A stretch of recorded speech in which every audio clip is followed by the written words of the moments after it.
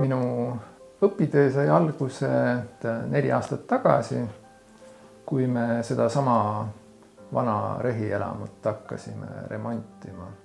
Läksin Moostesse, vana aja majasse, seal on igasugu palgivahetuse koolitused ja nii nagu siin maja remondis tuli jälle vajadus mingite uute oskuste järgi, siis sealt oli, sealt oli hea need kohe ühe nädalase koolitusena selgeks õppida. Moostes ma tutvusin Meelis Kihulasega ja ta kutsus mind oma Edeva Eremiidi rahvapärase puutöö kooli ja seal ma olen siis kolm aastat õppinud traditsioonilisi puutöövõtteid.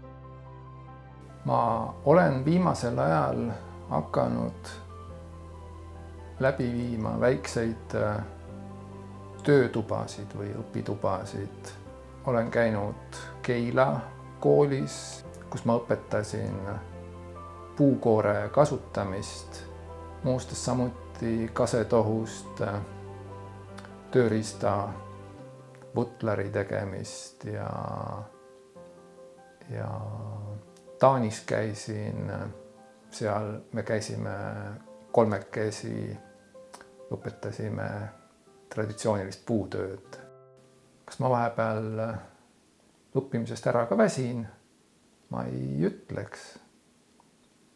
ma usun, et ma õpin, õpin edaspidi ka ma kindlasti elu lõpuni